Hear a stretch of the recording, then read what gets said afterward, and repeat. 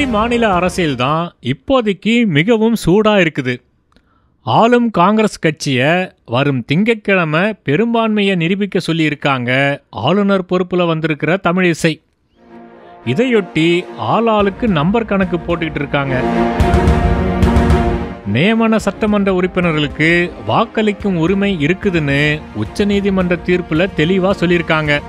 அதனால் வாக்கெடுப்பில் நாராயணசாமி அரசு தோக்கிறது உறுதி அப்படின்னு அடிச்சு சொல்றாரு பாரதிய ஜனதா மாநில தலைவர் சாமிநாதன்.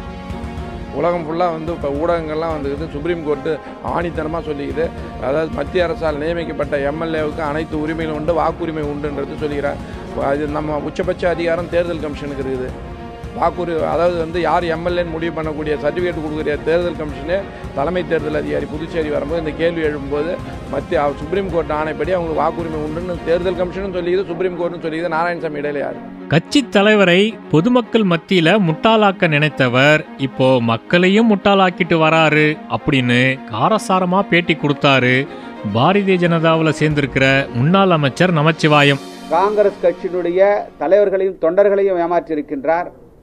சட்டமன்ற உறுப்பினர்களை ஏமாற்றியிருக்கின்றார். அது எல்லாவற்றுக்கும் மேலாக அவருடைய கட்சி தலைமையையே அவர் ஏமாற்றிக் கொண்டிருக்கின்றார். இதை போன்ற ஒரு தலைவர் எப்படி அவர் சொல்வது உண்மையாக இருக்க முடியும் என்பதை நீங்கள் சிந்தித்து பார்க்க வேண்டும். இதை நான் பொதுமக்களுடைய முடிவுக்கே விட்டுவிடுகின்றேன். இன்றைக்கு சுப்ரீம் கோர்ட் ஒரு தீர்ப்பை வழங்கியிருக்கின்றது. நியமன சட்டமன்ற உறுப்பினர்களுக்கு சட்டமன்றத்தில் வாக்களிப்பதற்கான உரிமை இருக்கின்றது என்பதை அவர்கள் இன்றைக்கு சுப்ரீம் கோர்ட்டு அவர்கள் ஜட்ஜ்மெண்ட்டாக கொடுத்திருக்கின்றார்கள். அதையும் மீறி சற்று ஏறக்குறைய பதினைந்து தினங்களுக்கு முன்பு புதுவைக்கு வந்த தலைமை தேர்தல் அதிகாரி அவர்கள் கூட அவருடைய உறுதிப்பாட்டை தெளிவாக சொல்லியிருக்கின்றார்கள். சுப்ரீம் கோர்ட்டு நியமன சட்டமன்ற உறுப்பினர்களுக்கு வாக்குரிமை உண்டு என்பதை அவர்களும் அதை வரவேற்றிருக்கின்றார்கள். இப்படிப்பட்ட நிலையில் எப்படி நம்முடைய புதுவை மாநில முதல்வர் புதுவை மாநில மக்களையும் அரசியல் தலைவர்களையும் முட்டாளாக நினைக்கின்றார் என்பதை நீங்கள் சிந்தித்து பார்க்க வேண்டும். ஏன்னா அவருடைய கட்சியினுடைய தலைவரையே பொதுமக்கள் மத்தியிலே முட்டாளாக்க நினைத்தவர் அவர். இப்படி ஒரு சூழ்நிலையில் இன்றைக்கு பொதுமக்களையும் புதுவை மாநில மக்களையும் அரசியல் கட்சி தலைவர்களையும் முட்டாளாக்க நினைத்து இன்றைக்கு ஒவ்வொரு பொய்யாக இன்றைக்கு மக்கள் மத்தியிலே அவர்கள் கட்டவிழ்த்து விட்டிருக்கின்றார்கள். நிச்சயமாக அவருடைய பொய் நீண்ட நாளுக்கு நாட்களுக்கு அது எடுபடாது. தன்னுடைய கட்சி சட்டமன்ற உறுப்பினர்களை தக்க வைத்துக் கொள்ள திறமையில்லாத முதல்வர் நாராயணசாமி எதிர்க்கட்சியினர் மீதும் துணைநிலை ஆளுநர் மீதும் குறை சொல்லி வரதாகவும் சொன்ன நமச்சிவாயம் பல மாநிலங்களில் முன்னூற்றி ஐம்பத்தி ஆறு சட்ட விதிமுறையை பின்பற்றி காங்கிரஸ் தான் ஆட்சியை கலைச்சிருக்கணும் செய்தியாளர்கள் சந்திப்பில் சொன்னார். அதாவது காங்கிரஸ் கட்சியில் இருக்கிற எம்எல்ஏக்களை தக்க வச்சு கொள்ள முடியாத முதலமைச்சர் இது மாதிரி வந்து அவங்க சரியில்லை இவங்க சரியில்லைன்னு சொல்றது வந்து அது அபத்தமா இருக்குது. முதல்ல அவரு காங்கிரஸ் கட்சியில் இருக்கிற எம்எல்ஏக்களை தக்க வச்சுக்கிறதுக்கு முதல்ல அவர் நடவடிக்கை எடுக்கட்டும். அது எங்களுக்கு அவங்க சரியில்லை அது அவங்க அதை பண்ணிட்டாங்க இவங்க இதை பண்ணிட்டாங்கன்னு சொல்றதுல இப்போ எப்போதுமே வந்து அடுத்தோர் மேல குறை சொல்லி தான் அவர் வந்து வந்திருக்காரே தவிர இது வரைக்கும் பார்த்தீங்கன்னா ஒன்று கிரண்பேடியை குறை சொல்றாரு. ஒன்று எதிர்க்கட்சி தலைவரை குறை சொல்றாரு. இப்படித்தான் அவருடைய அரசியல் பாணி இருக்குதே தவிர அவரா என்ன செஞ்சிருக்கிறாருன்றது இது வரைக்கும் இல்ல. ஏங்க பத்து நாள்ல வந்து நாங்க கலைக்கிறோன்றது கிடையாது. தெளிவா ஒண்ணு புரிஞ்சுக்கணும். தெளிவா தெளிவா தெளிவா ஒண்ணு புரிஞ்சுக்கணும். அவங்களுடைய எம்எல்ஏக்களே கட்சியிலிருந்து வெளியேறிட்ட பிறகு அந்த பொறுப்புல நீடிப்பதற்கு தார்மீக பொறுப்பு முதலமைச்சருக்கு சட்ட ரீதியா கிடையாது. அது மட்டும் இல்ல நிறைய நேரங்கள்ல காங்கிரஸ் கட்சி தான் முன்னூத்தி ஐம்பத்தாறாவது பிரிவை பயன்படுத்தி நிறைய மாநில சட்டமன்றங்களில் நீங்க நிறைய சட்டமன்றங்களை கலைச்சிருக்குது. இது வந்து நாங்கள் பாரதிய ஜனதா எந்த காலத்திலையும் எந்த சட்டமன்றத்தையும் நாங்கள் கலைச்சதா வரலாறு கிடையாது. அவங்கவுங்களா தங்களுடைய நிலைமையை உணர்ந்து அந்த கட்சியிலிருந்து வெளியேறி பாஜகவுக்கு வந்து சேர்ந்த பிறகுதான் பாரதிய ஜனதா கட்சி அதற்கான முடிவு எடுக்கிறதே தவிர எந்த மாநிலத்து அரசையும் பாஜக கலைக்கவில்லை. காங்கிரஸ் கட்சி தான் முன்னூத்தி ஐம்பத்தாறு பிரிவை பயன்படுத்தி நிறைய சட்டமன்றங்களை கலைச்ச வரலாறு காங்கிரஸ் கட்சியுடைய வரலாறு. ஆனால் இதுக்கெல்லாம் அசராத முதலமைச்சர் நாராயணசாமி பாரதிய ஜனதாவோட ஆட்சி கவிழ்ப்பு முயற்சியை கண்டிப்பாக முறியடிப்போம்னு தெம்பா பேசினார். மதச்சார்பற்ற முற்போக்கு கூட்டணியில் உள்ள சட்டமன்ற உறுப்பினர்கள் காங்கிரஸ் திராவிட முன்னேற்ற கழகம் மற்றும் சுயேட்சை மொத்தம் சேர்த்து பதினாலு பேர்கள் காங்கிரஸ் சட்டமன்ற உறுப்பினர்கள் எடுக்கிற முடிவின் அடிப்படையில் எங்களுடைய கூட்டணி கட்சி திராவிட முன்னேற்ற கழகத்துடைய சட்டமன்ற உறுப்பினர்களை கலந்து ஆலோசித்து சுயேட்சை உறுப்பினரை கலந்து ஆலோசித்து எங்களுடைய நிலை எப்படி இருக்க வேண்டும் என்பதை நாங்கள் முடிவு செய்வோம் ஆளும் காங்கிரஸ் கட்சி சட்டமன்ற உறுப்பினர்களோட ஆலோசனை நடத்தின நாராயணசாமி வெளிப்பார்வைக்கு தெம்பா தெரிஞ்சாலும் கட்சிக்குள்ளே போகிற விஷயங்களால கொஞ்சம் அசந்து போய் தான் இருந்தார். இந்த கூட்டத்தில் எம்எல்ஏ லட்சுமி நாராயணன் கலந்துக்காதது காங்கிரஸ் கட்சிக்குள்ள இன்னும் கொஞ்சம் கலவரத்தை ஏற்படுத்திச்சு. இருந்தாலும் ஆட்சி கவிழ்ப்புங்கிறது பாரதிய ஜனதாவுக்கு கைவந்த கலைன்னு சொல்லி அடுக்கடுக்கா குற்றச்சாட்டுகளை முன் வச்சாரு நாராயணசாமி. இந்த திட்டம் எல்லாம் பாரதிய ஜனதாவினுடைய கைவந்த கலையாக இருக்கிறது. பாரதிய ஜனதா சட்டமன்ற உறுப்பினர்களை மிரட்டுவதும் அவர்களை அவர்கள் மீது பொய் வழக்கு போடுவேன் என்று அவர்களை அழைத்து பேசுவதும் ஒரு சில சட்டமன்ற உறுப்பினர்களுக்கு விலை பேசுவதும் இந்த பாரதிய ஜனதா கட்சியினுடைய கைவந்த கலையாக இருந்து வருகிறது. புதுச்சேரி மாநிலத்தில் பாரதிய ஜனதா கட்சி கிரண்பேடி அம்மையார் அவர்கள் என்ஆர் காங்கிரஸ் அனைத்து இந்திய அண்ணா திராவிட முன்னேற்ற கழகம் பாரதிய ஜனதா கட்சி இவர்கள்லாம் தொடர்ந்து நான்கரை ஆண்டு காலமாக எங்களுடைய ஆட்சியை கழிப்பதற்கு பல திட்டங்களை தீட்டினார்கள். அதையெல்லாம் நாங்கள் முறியடித்தோம். தொடர்ந்து ஆட்சி கழிப்பு வேளையில் என்ஆர் காங்கிரசுடைய தலைவர் மரியாதைக்குரிய ரங்கசாமி அவர்கள் சட்டமன்ற உறுப்பினர்கள் எல்லாம் பேரம் பேசினார். அது மட்டுமல்ல பாரதிய ஜனதா கட்சியுடைய தலைவர்கள் புதுச்சேரியில் வந்து முகாமிட்டு துணை சபாநாயகர் தேர்தல் நடக்கின்ற பொழுது ஆட்சி கவிழ்ப்பு வேலையை பார்த்தார்கள். இப்படி அவர்கள் முயற்சி செய்து நாங்கள் எங்களுடைய முழு ஐந்தாண்டினுடைய முடித்திருக்கிறோம். ஐந்து ஆண்டுகளை முடித்திருக்கிறோம். பல அந்த ஆட்சி கவிழ்ப்பு வேலையான பல கட்டத்தில் அவர்கள் செய்ததெல்லாம் நாங்கள் முறியடித்து மிகவும் வெற்றிகரமாக ஆட்சியை நடத்தியிருக்கிறோம். இது தேர்தல் அறிவிக்கிற நேரம். இந்த நேரத்தில் அவர்கள் ஆட்சி கவிழ்ப்பு வேலையை ஆரம்பித்திருக்கிறார்கள். புதுச்சேரி மாநில மக்களுக்கு கொடுக்க வேண்டிய நிதியை கொடுக்காமல் நரேந்திர மோடி அரசு வஞ்சித்து வருகிறது. மாநில அந்தஸ்து கேட்டால் மாநில அந்தஸ்து கொடுக்க முடியாது என்று பாராளுமன்றத்தில் நரேந்திர மோடி அரசு கூறியிருக்கிறது. மாநிலத்துக்கு கொடுக்க வேண்டிய நாற்பத்தோரு சதவீத மானியத்தை கொடுக்காமல் அதை இருபது சதவீதம் கொடுத்து புதுச்சேரியை புறக்கணிக்கிறார்கள். அதிகார துஷ்பிரயோகம் செய்கிறார்கள். மக்களால் தேர்ந்தெடுக்கப்பட்ட எங்களுடைய அரசுக்கு உள்ள அதிகாரத்தை கொஞ்சம் கொஞ்சமாக உள்துறை மூலமாக முடக்குகிறார்கள்.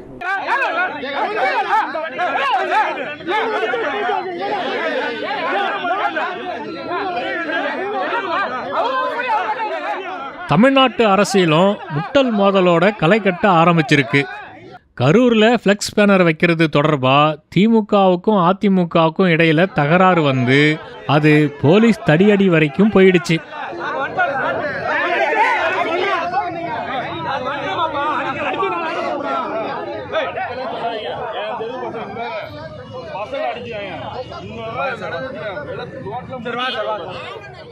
ஒவ்வொரு கட்சியிலையும் ஆள் பிடிக்கிற வேலையும் ஜரூரா தொடங்கிடுச்சு. தருமபுரி மாவட்டம் காரிமங்கலம் பகுதியில் மாற்று கட்சிகளில் இருந்து வந்தவங்களை வரவேற்ற அமைச்சர் அன்பழகன் எல்லாருக்கும் வேட்டி சேலை துண்டெல்லாம் கொடுத்து குசிப்படுத்தினாரு.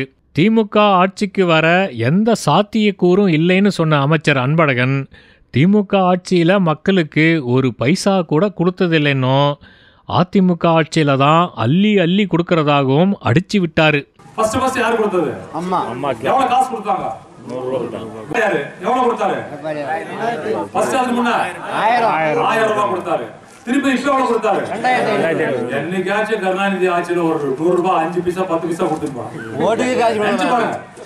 இனிமே எந்த காலத்துக்குமே திராவிட முன்னேற்ற கழகம் ஆட்சிக்கு வர்றதுன்றது சாத்தியக்கூறே இல்ல. அது கருணாநிதியோட போயிடுச்சு. அப்பப்ப எங்கேயாவது தலை காட்டி நானும் இருக்கேன்னு காட்டிக்குவாரு புதிய தமிழகம் டாக்டர் கிருஷ்ணசாமி.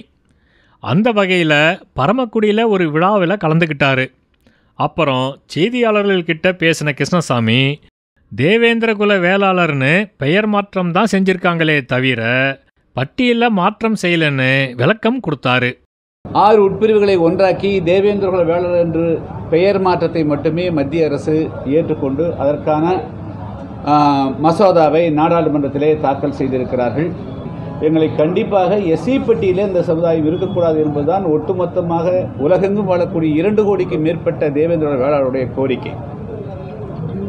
அதாவது முதல் பகுதியை ஏற்றுக்கொண்ட மாநில அரசு அதேபோல மத்திய அரசு மிக மிக முக்கியமான இந்த பட்டியல் வெளியேற்றத்தை ஏற்றுக்கொள்ளாது எங்களுக்கு மிகப்பெரிய வருத்தத்தையும் ஆதங்கத்தையும் அளிக்கிறது.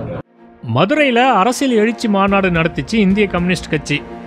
இதில் திமுக கூட்டணி கட்சிகள் எல்லாம் கலந்துக்கிட்டாங்க.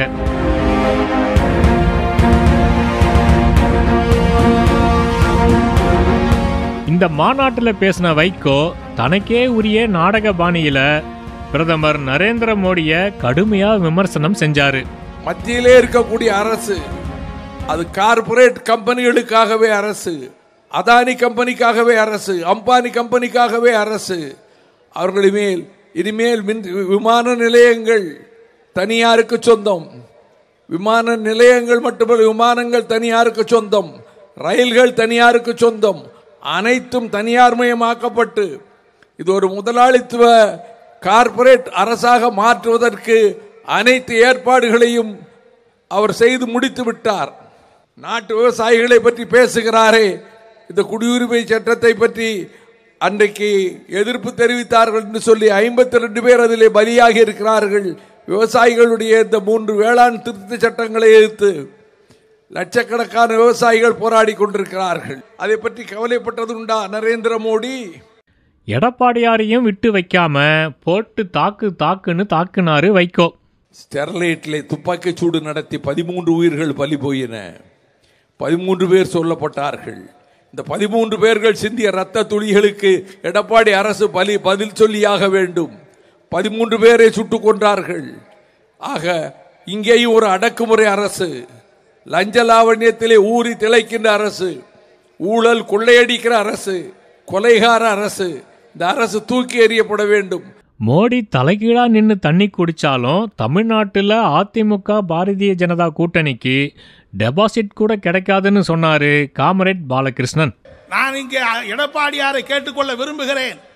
நீங்க இந்த ஐந்து ஆண்டுகளிலே உங்க ஆட்சியை உங்க கட்சியை நார் நாரா கிழிச்சு தொங்க போட்ட கட்சி பாரதிய ஜனதா கட்சி. ஒன்னா இருந்த கட்சியை ரெண்டா உழைச்சி அப்புறம் ஓபிஎஸ் கொண்டு வந்து சமரசம் பண்ணி இப்ப கடைசியா என்ன முயற்சி நடக்குது? சசிகலாவையும் சேர்த்து விடலாமா? என்கிற முயற்சி இப்போது நடக்கிறது. நான் என்ன சொல்றேன்னா மோடி அவர்கள் தலையால தண்ணி குடிச்சாலும் சரி முருகன் வந்து ஐம்படைக்கும் போய் காவடி தூக்கி எத்தனை வேல் முரு எத்தனை வே- வேல் தூக்கினாலும் சரி தமிழ்நாட்டிலே எடப்பாடி பாஜக கூட்டணி என்பது டெபாசிட்டே இல்லாத ஒரு மகத்தான தோல்வியைத்தான் பெற முடியுமே தவிர உங்களால் வெற்றி பெற முடியாது. டெபாசிட்டே கிடைக்காதுன்னு நம்பிக்கையோட பேசின காம்ரேட் பேச்ச அர்த்தமே இல்லாம ஆக்குற மாதிரி அதே மேடையில பேசிட்டாரு திருமாவளவன். அதாவது தேர்தல் முடிஞ்ச பிறகு இரட்டை இலை சின்னத்தில் ஜெயிச்ச அதிமுக சட்டமன்ற உறுப்பினர்களை மிரட்டி தங்களோட கட்சியில பாரதிய ஜனதா சேர்த்துக்கும் அப்படின்னு திருமா சொன்னாரு. டெபாசிட்டே வாங்க முடியாதவங்களால எப்படி ஜெயிக்க முடியும் அப்படிங்கிறத காம்ரேட் பாலகிருஷ்ணனோ சிறுத்தை திருமாவளவனோ யோசிக்கவே இல்லை போல இருக்கு. இரட்டை இலை சின்னத்திலே போட்டியிட்டு வெற்றி பெறக்கூடியவன் கூட பாரதிய ஜனதா கட்சியிலே சேரும் நிலை சேர்க்கிற நிலை அச்சுறுத்தி சேர்க்கிற நிலை என்போர்ஸ்மெண்ட் டிவிஷனை விட்டு ஏவி அச்சுறுத்தி சேர்க்கிற நிலை இன்கம் டாக்ஸ் டிபார்ட்மெண்ட்டை ஏவி அச்சுறுத்தி சேர்க்கிற நிலை நமக்கெல்லாம் அந்த பயம் கிடையாது. எவனையும் ஏவி விட முடியாது. எவன் வந்தாலும் பேப்பர் தான் அள்ளிட்டு போகலாம் வெறும் பேப்பர் விடுதலை சிறுத்தைகள் கட்சியினுடைய துண்டறிக்கையில் தான் அள்ளிட்டு போவான். அதுவும் சனாதனம் ஒழிகன்னு எழுதியிருக்கிற துண்டறிக்கையில் தான் அள்ளிட்டு போவான்.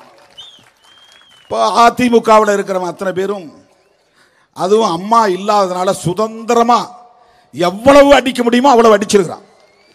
ஒவ்வொரு ஒன்றிய செயலாளரும் இன்றைக்கு கோடீஸ்வரன். அப்புறம் அவன் பயப்படுவானா? பயப்பட மாட்டானா? அதிமுகவை அழிக்கிறதுக்கு இது ஒன்றே போதும். தேர்தலுக்கு பிறகு பாரதிய ஜனதா கட்சி அதிமுகவைத்தான் முதலில் காலி செய்யும். அயோத்தி பற்றி பேசினால் எடுபடாதுங்கிறதுனால அறுபடை முருகனை வைத்து அரசியல் செய்கிறாங்கன்னு திருமாவளவன் பேசினதும் பாரதிய ஜனதாவை மனசில் வச்சா இல்லை திமுகவை மனசில் வச்சா அப்படிங்கிற கேள்வியை எழுப்பிச்சு. வள்ளுவரையும் ஔவையாரையும் பற்றி மோடி பேசுறது தமிழினத்தை ஏமாற்றும் மோசடின்னு சொன்ன திருமாவளவன் மோடியோட தமிழ்மொழி நேசிப்பு ஒரு நாடகம். அவர் ஒரு உலகமகா நடிகர்னு ஒரே போடா போட்டாரு. ஜெயலலிதா இல்லாத அதிமுகவில் எல்லாரும் ஊழல் செஞ்சு பணம் சேர்த்துருக்காங்கன்னு சொன்ன திருமாவளவன் அதிமுகவை விட பாரதிய ஜனதாவை ஒழிப்பதே முக்கியம்னு பேசினாரு. முரண்பாடு இருந்தாலும் கூட அதிமுக திமுக என்கிற கட்சிகள் தமிழ்நாட்டில் இருந்ததால் தான் இதுவரையில் சனாதன சக்திகளால் தமிழ்நாட்டில் காலூன்ற முடியவில்லை வேரூன்ற முடியவில்லை. அதை தடுக்கிற வலிமை அந்த கட்சிகளுக்கு இருந்தது கலைஞருக்கு இருந்தது ஜெயலலிதா அம்மையாருக்கு இருந்தது. ஜெயலலிதா அம்மையாரோடு நமக்கு முரண்பாடு உண்டு என்றாலும் தேர்தல் நேரத்தில் சொன்னார் மோடியா லேடியா மோதி பார்ப்போம் வா என்று சவால் விடக்கூடிய துணிச்சல் அந்த அம்மாவுக்கு இருந்தது. அவரோட பேச்சில் ஜெயலலிதா மேலே ரொம்ப மரியாதை வச்சிருக்கிற மாதிரி ஒரு துணி வெளிப்பட்டது. தன்னோட பேச்சு மூலமா திரும்ப மேடையில் இருக்கிறவங்களுக்கும் ஏதோ மெசேஜ் சொன்ன மாதிரி இருந்தது. தன்னோட பங்குக்கு ஸ்டாலினும் பாரதிய ஜனதாவை வார்த்தைகளால வறுத்தெடுத்தாரு. எளிய மக்களோட வணிகத்தின் மேலையும் தாக்குதல் நடத்தி இருக்கிறாங்க மோடி ஆட்சியில் கச்சா எண்ணெய் விலை குறைந்தாலும் பெட்ரோல் விலை உயருது. பெட்ரோல் விலை உயர்ந்தால் காய்கறி விலை உயருது விலைவாசி உயருது போக்குவரத்து கட்டணம் உயருது. ஏழைகளின் வாழ்க்கை தரம் மட்டும் உயரல. இந்த சொந்த நாட்டு மக்கள் மீது நடத்தப்படும் பொருளாதார தாக்குதல் இதெல்லாம் இதை மத்திய அரசு உடனடியாக நிறுத்தணும். இது இந்திய கம்யூனிஸ்ட் மாநாடாக இருந்தாலும் திமுக மாநாட்டில் கலந்துக்கிற உணர்வோட தான் இருக்கேன்னு சொன்ன ஸ்டாலின் ஒரே கொள்கையோட உள்ளவர்கள் அப்படிங்கிற பாசத்தால இங்கே இணைஞ்சிருக்கோம்னு பேசினாரு. இது இந்திய கம்யூனிஸ்ட் கட்சியினுடைய மாநாடாக இருந்தாலும் என்னை பொறுத்தவரையில் திராவிட முன்னேற்ற கழகத்தினுடைய மாநாட்டில் எப்படி கலந்து கொள்வேனோ அதே உணர்வோடு தான் இந்த மாநாட்டில் பங்கேற்க வந்திருக்கிறேன். மொத்தத்தில் திமுகவும் கம்யூனிஸ்டுகளும் ஒன்று தான் அப்புறம் எதுக்கு வெவ்வேறு சின்னங்கள் அப்படிங்கிற கேள்வியை பூடகமாக தன்னோட பேச்சில் வெளிப்படுத்தினாரு ஸ்டாலின். வரும் தேர்தல் நிகழ்காலத்திற்கு அல்ல எதிர்காலத்திற்கான முக்கிய தேர்தல்னு ஸ்டாலின் பேசினாரு. உதயநிதியோட எதிர்காலத்தை மனசில் வச்சு தான் ஸ்டாலின் அப்படி பேசினாரோன்னு சில சீனியர் உடன்பிறப்புகளுக்கு கொஞ்சம் சந்தேகம் கூட வந்திருக்கும். தட்டி கேட்க வேண்டாம். அனைத்தையும் தூக்கி வாரி தாரை வார்க்கிற ஆட்சியாக பழனிசாமி ஆட்சி இருக்கு. கொஞ்சம் தாமதிச்சிருந்தா அண்ணா பல்கலைக்கழகத்தையே தாரை வார்த்திருப்பாங்க. கல்வி வேளாண்மை மின்சாரம் ஆகிய துறைகளிலிருந்து மாநில உரிமைகள் தாரை வார்த்துட்டாங்க. தமிழை புறக்கணிச்சு இந்தி திணிப்புக்கு சம்மதம் தெரிவிச்சிட்டாங்க. தமிழகத்தினுடைய நிதி தேவைகள் மத்திய அரசு பூர்த்தி செய்யறது கிடையாது. கேட்ட நிதியை தரது இல்லை புதிய திட்டங்கள் கிடையாது. பழனிசாமியினுடைய அரசாங்கத்தை ஒரு அரசாங்கமாகவே மத்திய அரசு மதிக்கல. இந்த நிலையில நடக்க இருக்கக்கூடிய தேர்தல் தமிழகத்துடைய நிகழ்காலத்துக்கு மட்டுமல்ல எதிர்காலத்துக்கும் முக்கியமான தேர்தல் என்பதை நீங்கள் மறந்துவிடக்கூடாது.